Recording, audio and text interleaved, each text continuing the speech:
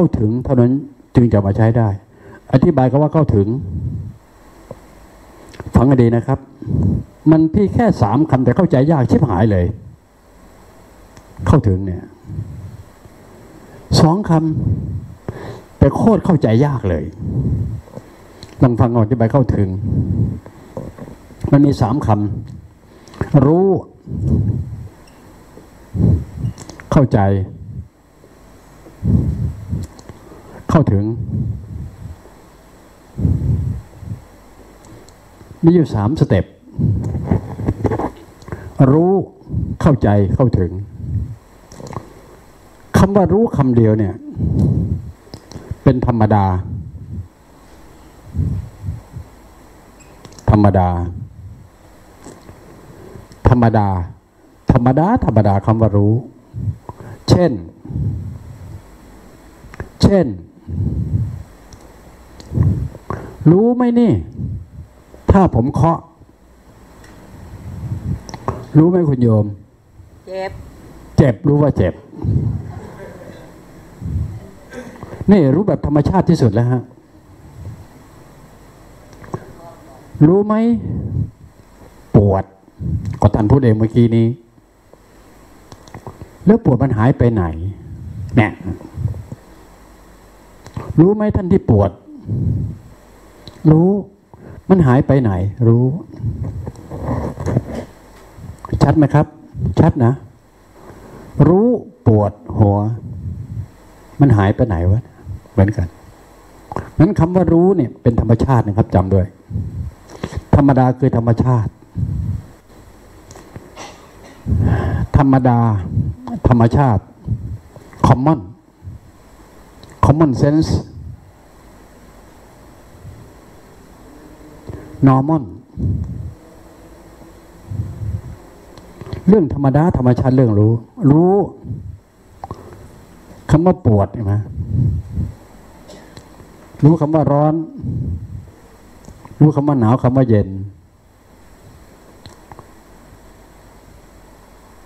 รู้ดีรู้ชั่วยมันยิ่งยากนะ ว่ารู้ดีรู้ชั่วมันยากขึ้นอีกนะ รู้เจ็บ รู้ปวด มันยังมีเครื่องวัด ช่างตวงวัด เจ็บข้อปอกก็เจ็บเลยคือมีเครื่องวัดข้างช่างตวงวัด ปวดอย่างนี้ท่านปวดมา ยังรู้สึกว่ามีรู้เหมือนว่ามีช่างเครื่องช่างตวงวัด รู้ดีรู้ชั่ว ไม่มีเลยนะให้ดูไว้มันไม่เข้าใจยากนะ มันรู้แต่ง่าย แต่มันเข้าใจยาก ดีมันเป็นยังไง เหมือนกับบุญกับบาป บุญเป็นยังไง ก็ได้แค่ภาษา บาปเป็นยังไง บุญกับบาปเป็นนามธรรมล้วนๆดีกับชั่วเป็นนามธรรมล้วนๆเจ็บกับปวดเนี่ย มันทั้งรูปและนามแล้วเนี่ย บอกว่าเข้าใจนะ ต้องเข้าใจให้ได้นะ มาที่นี่ไม่เข้าใจแล้วเอากลับบ้านไม่ได้นะกลับมือเปล่านะให้รู้ไว้ ท่านกลับมือเปล่าจริงๆนะเอาถ้าท่านไม่ยอมเข้าใจ เพราะฉะนั้นความเข้าใจจริงบ่อเกิดถึงความเจริญงอกงามทุกประการ รู้แต่ไม่เข้าใจ รู้ไปงั้นแหละ ความรู้ยังมีความรู้อีกอะความรู้ที่ท่านเรียนมาในโลกใบนี้อะ ถ้าผมถามว่า ท่านมีความรู้เรื่องอะไร ที่จัดจ้านที่สุด ที่ถือเอามาใช้ได้ชีวิตประจำวันจริง ๆ เป็นการประกอบอาชีพได้จริง ๆ และตัวความรู้ที่ว่านั้นนะถามว่า มีความรู้เรื่องอะไรสำหรับคนนั่งทีนี้ผมเดาทางได้เลยเนี่ยคนเนี้ยเดาได้เลย มีความรู้เรื่องของปากเป็นเอกน่ะเห็นไหมขายของ ปากเป็นเอกเห็นไหมครับ ความรู้เรื่องปากเป็นเอก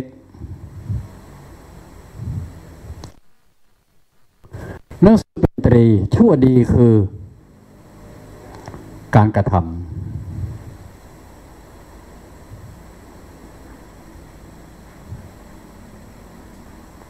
ปากเป็นเอก เลขเป็นโท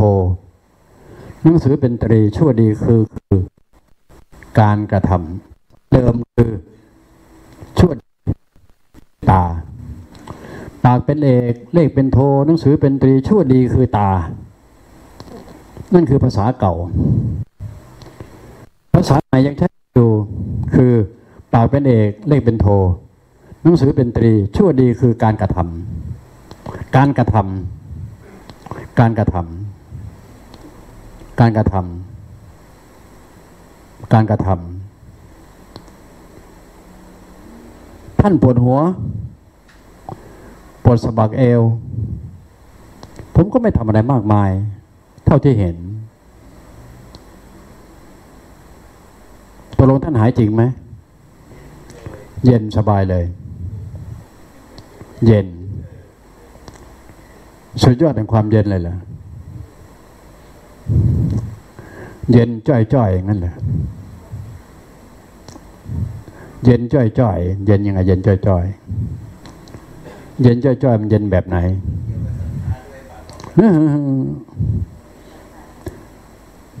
เลยศรัทธาซะศรัทธาแปลว่าความเชื่อ ความเชื่อแปลว่าศรัทธาศรัทธาความเชื่อ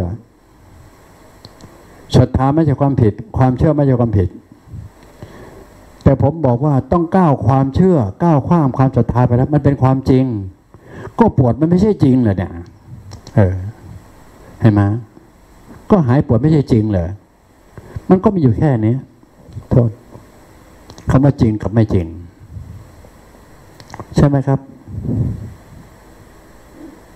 ใช่นะ สร้างความศรัทธา มันจะไม่ยากกระไรทุกคนเข้ามาในห้องนี้ เอาดอกไม้ทูบเทียนมาด้วยเห็นไหมสร้างความศรัทธาไม่จะต้องยากอะไรเลย แล้วจะไปสร้างทำไมความศรัทธา จะไปสร้างทำไมความเชื่อ เพราะเราเจอของจริงความจริงไปแล้ว ก็ท่านก็ยังบอกว่าเป็นเชื่อศรัทธาอยู่ก็ไม่ว่าอะไรกัน แต่ของผมมันเลยศรัทธาเลยความเชื่อไปแล้วมันเป็นความจริงยืนยันว่าผมเลยไปแล้ว เลยความเชื่อเลยความศรัทธาไปแล้ว มันเลยความเชื่อโดยศรัทธา เพราะว่ามันเข้าไปถึงของจริงเข้าไปแล้ว ของจริงที่ว่าคือพลังงานนั่นเอง พลังงานที่ว่านั้นเป็นพลังงานที่ไม่บริสุทธิ์ดูสิมันซ่อนๆกันอยู่นะครับ ถึงไม่รู้วันนี้นะฮะ ก็ขอให้จำภาษาไว้ก่อน เพราะภาษานี้ผมต้องใช้ไปอีก ตลอดชั่วชีวิตผมที่มีอยู่ ครับ ตอนนี้มันใช้ไปแล้วชีวิตที่ผ่านมาเนี่ย มันเจ็ดสิบสี่ปีเต็มๆไปแล้ว ตอนนี้พูดถึงเจ็ดสิบห้านะโยมเจ็ดสิบสี่มันผ่านไปแล้วนะ นี่เจ็ดสิบห้าไปแล้วยืนพูดอยู่เนี่ยเจ็ดสิบห้ามาแล้วสามวันห้าวันแล้วนี่ เคยไหมนานานานา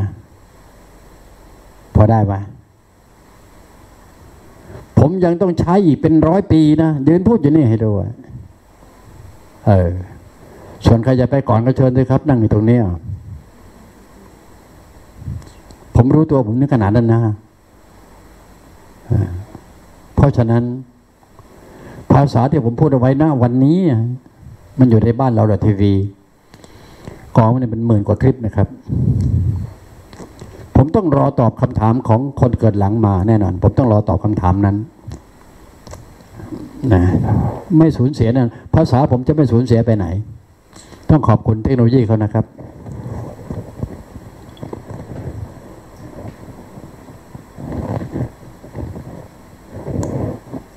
ไม่หายนี่ไปไหนแน่นอนนะครับ มันถึงเวลาเขา เก็บทุกเม็ด เราพูดอยู่เวลาเนี้ยอย่าลืมนะคำว่า AI ภาษาทุกวันนี้ก็ใช้ว่า AI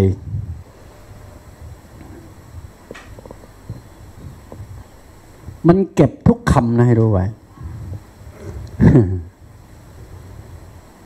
วันหนึ่งข้างหน้า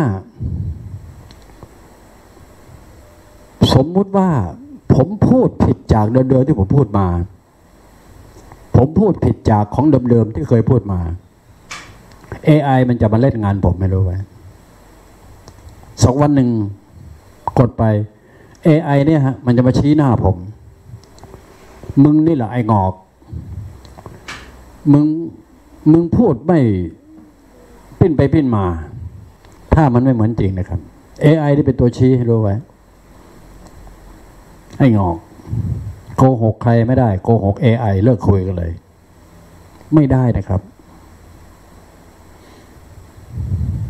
ขอให้เข้าใจหน่อยครับ เรื่องนี้ว่าเนี่ยนะเทคโนโลยีเข้าไปถึงขนาดนั้นแล้วนะครับ ไม่ใช่เรื่องเลวไหลแล้วนะ อืม AI AI เนี่ยวันหนึ่งข้างหน้าผมเป็นไปได้ จะติดระบบ AI ที่นี่ เอาเป็นไปได้จริงนะไม่พูดเล่นนะเอาเช่น พอเวลาคนเดินผ่าน เหมือนกับเดินผ่านสนามบินไหนก็มีเครื่องตรวจวัด ผ่าน AI หมดได้รู้ไว้เอาประสบการณ์ล่าสุดเลย ผมก็ไม่มีอะไรเสื้อผ้าผมมีแต่เสื้อผ้าผ่อนกระดาษพวกนี้ออกหมดนะครับ เอาออกหมดทุกชิ้นกระดาษ เอาออกหมดทุกชิ้นเลยนะครับเอาออกหมดเลยพอไปผ่านผ่าไปผ่านเครื่องตรวจจับเขานี่เลยนะมั้ยพอดีผมไปเห็นจอเขามันเหมือนกระดาษ มันผ่านจอ เขาก็ เอามือเขาเนี่ยครับมันรูปหมดนะรูปหมดนะครับ ครับ ก็มันมีภาพในจอนึกออกไหมครับ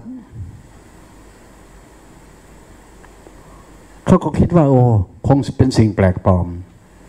รูปไงก็ไม่เจอ เพราะไม่มีหาอะไรอะ แต่มันมีภาพอย่างนั้นได้ยังไง ในจอนะครับ คนอื่นทำไมไม่มี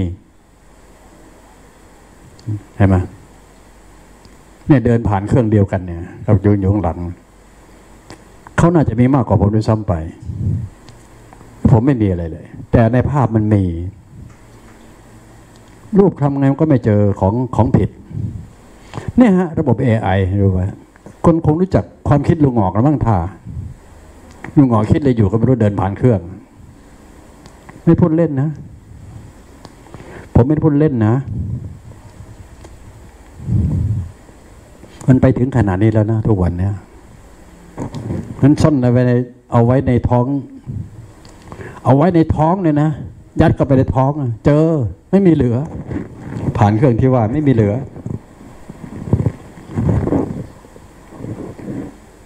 สิ่งแปลกปลอมมันสามารถเอ็กซเรย์ได้หมดเลย สแกนก็เลยสแกน ครับ หมดเกลี้ยงเลยในระบบ AI เขาแน่ขนาดนั้นครับ ก็กำลังบอกว่าเราไปผ่านประเทศที่เขามีความเจริญด้านวัตถุแล้วเนี่ยครับ มีอะไรก็เล่าสู่กันฟัง ชัดเจนนะ ผ่านไปนิดหน่อย ถอยมาที่เดิมยังไม่ค่ำน่ะ no กับ knowledge คนละความหมายนะครับ no นี่ก็คือเรื่องราวธรรมชาติ รู้อย่างธรรมชาติ ร้อนกับเย็น เย็นจะบอกว่าหนาวก็ได้วะวะ มันเย็นจังเลย เย็น เย็นเยอะๆจนกระทั่ง โอ้โห หนาวชิบหายเลย เย็นกับหนาวความหมายเดียวกันหรือเปล่าเนี่ย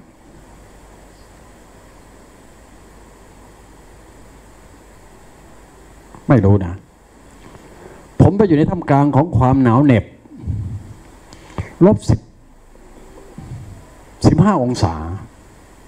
ที่รัสเซียสิบห้าสิบเจ็ดวันนี้ ประมาณสิบห้าองศาอะ ถามว่ามันเย็นหรือมันหนาว มันคล้าเข้ากันโยม ถ้าเย็น ภาพแมกโครคือหนาวกันแล้วกันโอเคไหม คือภาพแมกโครคือส่วนส่วนองค์รวมมันหนาว แต่ไมโครส่วนย่อยมันเย็น เช่น เอามือไปจับน้ำแข็งนี่เย็นโอเคไหมครับ หนาวทั้งตัว กับเย็นแค่พอยเดียว งั้นเย็นกับหนาว มันอยู่ในที่เดียวกัน เย็นเป็นไหมครับของแมคโครเล็กๆ เช่น กินน้ำแข็งเย็นเนี่ย มันก็เย็นแค่ปากเนี่ย อย่างเงี้ย เห็นไหมเนี่ยมันเย็นแค่ปาก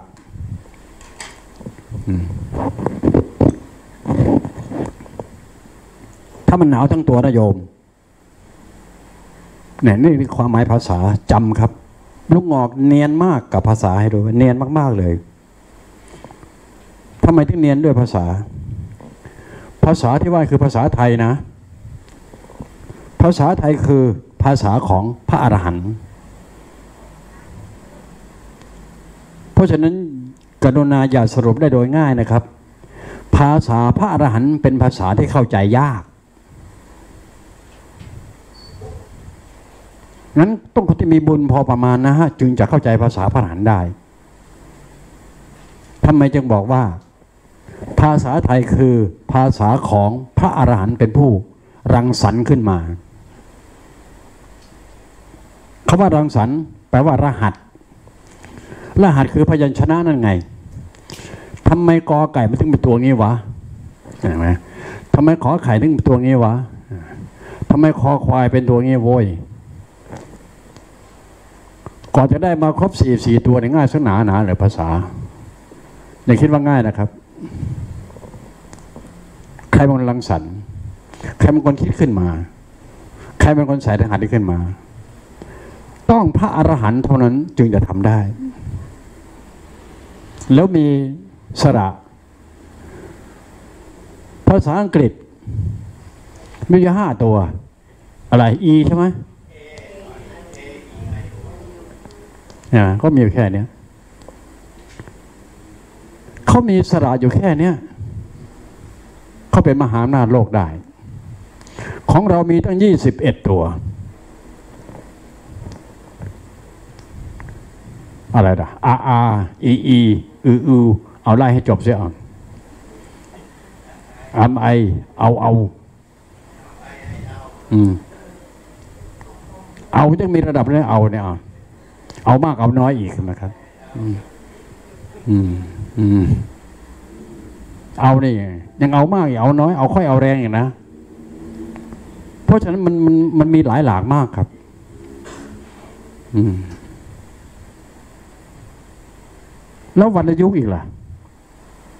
กากากากากากระนำซ้ำเติมทีหนึ่งอย่าคิดว่าง่ายนะ ภาษาพ่อขุนเนี่ย พ่อขุนรามคำแหงมหาราชคือพระอรหันต์เราใช้ภาษาไทยคือใช้ภาษาของพระอรหันต์จำเลยครับ ใช้ภาษาของพระอรหันต์ทำไมต้องบอกว่า พ่อคุณดาวกำแหงมหาราชคือพระอรหันต์ถอยหลังไม้หลายก้าวหน่อย ตอนที่พระองค์เป็นเด็ก เป็นเนนน้อยกว่าลานวัด เป็นผู้ที่มีวาจาศักดิ์สิทธิ์เรื่องขอมดำดิน เออ ถ้าผมถามว่าในห้องเนี้ยรู้เรื่องขอมดำดินมั้งไม่โยม ถ้าใครบอกว่ารู้ลงยกมือสิครับขอมดำดินนะนอกนั้นไม่รู้เลยเหรอ มีอยู่แค่ห้าคนเองเหรอขอมดำดิน มีมีรู้ประวัติคำว่าขอมดำดินไม่ห้าหกคนในห้องนี่มีแค่นั้นเหรอโหยซวยชิบหายประเทศไทยนึงไปไหนไม่ได้เพราะงี้ครับ จริงนะ ประเทศไทยคนแทบนึกไปไหนไม่ได้เพราะตรงนี้ ครับ ต้องโทษครูบาอาจารย์สอนสั่งนะเอา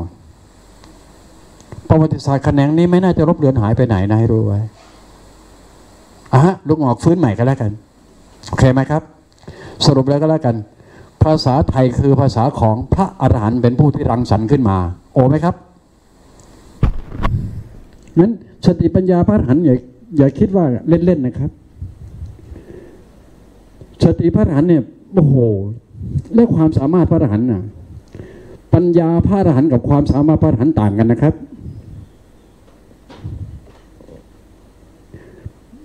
นะปัญญาพระหันกับความสามารถพระหันต์ต่างกันนะครับ บอกไม่ทราบว่าอธิบาย ปัญญาพระอรหันต์คือ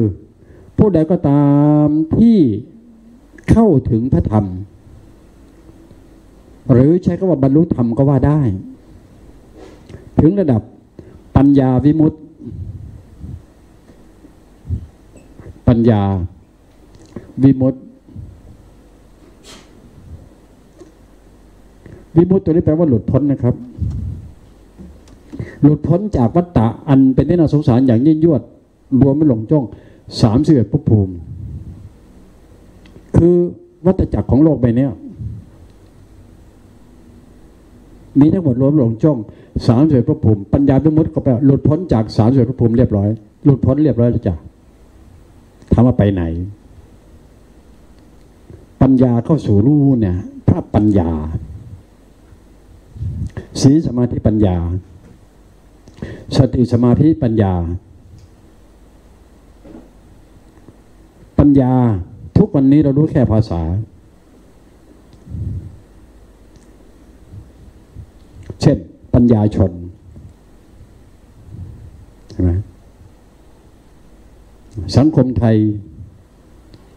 ยกย่องคนที่จบปริญญาตรี สรุปว่าเป็นผู้ที่เป็นมนุษย์ผู้ซึ่งมีปัญญาเป็นปัญญาชนใช่ไหมครับ ปัญญาชน โอเคไหมครับ ปัญญาชนแต่จนด้วยปัญญา เป็นแค่ภาษาปัญญาชนแต่เข้าไม่ถึงจริง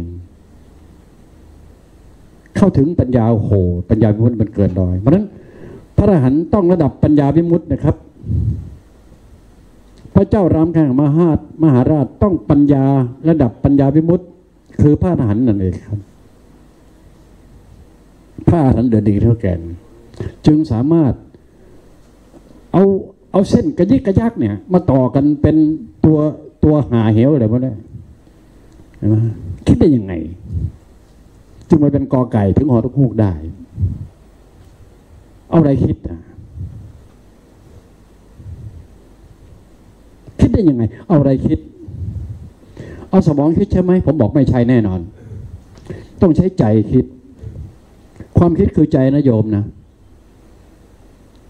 รบอกว่าที่ท่านคิดทุกวันนี้นะฮะใช้สมองคิดคิดโดยสมอง ก็แปลว่าใช้สมองเปลือง จึงปวดเหตุ เพราะสมองอยู่ในเหตุอยู่ในหัว สรุปนะฮะว่า ใครก็ตามที่สรุปว่าคำว่าคิดคิดคิดคิดคิดคิดคิดเนี่ยนาทีเนี่ยครับ ใช้สมองคิด ความคิดนั้น ก็ถูกบรรจุในสมองนั่นนะครับ ไม่ไปไหนหวังว่าคงไม่งงนะ สมองสมอง ใช้สมองคิด ใช้สมองฟุ่มเฟือยชิบหายเลย มันก็เลยปวดหัวสิครับงั้นท่านที่ปวดหัวทั้งปวงนั้น กรุณาเข้าใจให้ตรงกันซะว่า ถ้าท่านยังเชื่อมั่นว่าใช้สมองคิดอยู่กลับซะกลับลำซะ กลับมาเถอะครับ มาใช้ใจคิดเถอะครับ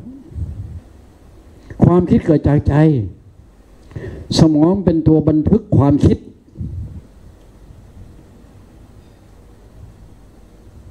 ใจคือตัวคิด สมองคือตัวบันทึกความคิด เอาให้อยู่ครับสองคำแนี้เอาให้อยู่นะฮะรู้จักลงงอกอย่างน้อยสุดได้สองคำนี้กลับบ้านไป โอ้โห ได้มอดก นะได้มอดกกลับบ้านเลยครับครับ ครับ ยังไงผมก็ไม่ยอมแผ่คำพูด เพราะผมถือว่าตัวผมเองผมมีเจ้าของร่างกาย ผมเป็นเจ้าของสมองนี้เห็นไหมครับ ผมก็ย่อมมีสิทธิโดยชอบทำจะรู้เรื่องราวสมองของผม ผมไม่ต้องให้ใครมารู้ ท่านต่างหากท่านมีสมอง แต่ท่านไม่รู้จักเรื่องราวการทำงานของสมอง เมื่อท่านไม่รู้ไม่เป็นไร เอามาแชร์กัน คนที่คิดและพูดเช่นนี้มีความสามารถอะไร ก็ท่านนั่งในนั่น ผมบอกมือย่อยๆท่านรู้สึกได้แล้วกัน นี่คือความสามารถเห็นไหมครับชัดไหมครับ นั่นคือความสามารถ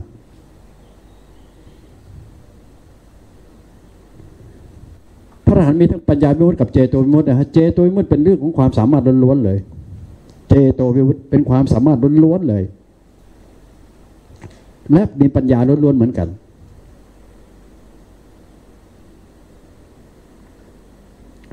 ปัญญาวิมุตติกับเจโตวิมุตติมันต่างกันตรงนี้ครับ ต่างก็มีคำว่าวิมุตติแปลว่า ปัญญาวิมุตติก็หลุดพ้น เจโตก็หลุดพ้น หลุดพ้นก็คือเลยวัฏจักรวัฏตะ แปลว่า ไม่มาเกิดและเป็นชาติสุดท้ายแน่นอน ทั้งคู่ อนาคาในจอ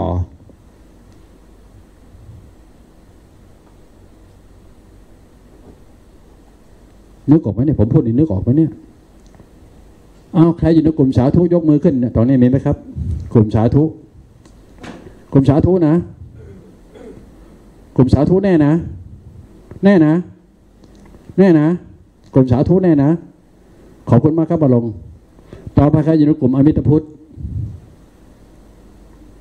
อมิตรพุทธนะ โอเค อมิตรพุทธใครอยู่กลุ่มอามิน อามิน อามินแน่นะ ขอบคุณมากครับ ใครอยู่กลุ่มอาเมน อาเมน ทั้งอามินอาเมนเลยเหรออาเมนอย่างเดียว ไม่ใช่สาธุแน่นะ ไม่ใช่แน่นะงั้นอธิบาย อาเมนนะ อาเมนนะ ถ้าเรื่องศาสนาศาสนาอะไรครับอาเมน คริสต์นะฮะคริสต์มีสองภาวะ มีมีคำว่า คริสตังกับคริสเตียน อะไรครับ ตังหรือเตียน ตังใช่ไหมตังยึดถืออะไรเป็นสรณะพูดให้ชัดเทวรูปใช่ไหมฮะแน่ใจนะแน่ใจนะครับแน่ใจนะ แค่นี้ก็ผิดทันทีแล้วเห็นไหมครับพอเวลาไล่ยาว คริสเตียนคือพระเยซูเจ้า คริสตังก็คือพระแม่มาริอานั่คือคริสตัง ถ้าอามิน ก็มีชีอากับ กับอะไรซูนีใช่ไหมครับซูนีก็คือเรื่องราวของพระศาสดาโดยตรง ชีอาก็คือเรื่องราวของ พระประยุรญาติของพระนบีเห็นไหม เห็นไหมก็เหมือนกับ ถ้าหากว่าเป็นสายสาธุ ก็คือ สาธุนะ สาธุนะครับ ก็คือก็คือ มันมีภาษาคุมอยู่นะครับ ก็คือ ก็คือ มันไกลไป สาธุคือ มันไกลไป สายสายอมิตรพุทธกับพระเจ้าเหมือนกันแหละ หินนยาน สายสาธุคือหินนยานเข้าไหมสายมิตรพุทธคือมหายานโอเคไหมครับ มหายานเน้นเมตตากับกรุณามีเมตตากรุณา ใจเมตตา เห็นหมาเดินกระเพกกระเพกโอ้ยสงสาร สงสาร สงสาร แต่ตัวเองเดินกระเพกกระเพกบ้างดิเดียวแล้วใครสงสารใครเงี้ยลองย้อนไปย้อนมาให้ฟังอย่างนี้กลุ่ม อมิตรพุทธกลุ่มเมตตา เมตตา เมตตา เดี๋ยวทีนะ ไม่รู้ได้ไง ใครยืนพูดตรงนี้ ฟังให้ดีกลุ่มเมตตา เมตตากับกรุณามันต่อกันตรงไหน มันแยกกันตรงไหน เมตตาอ่า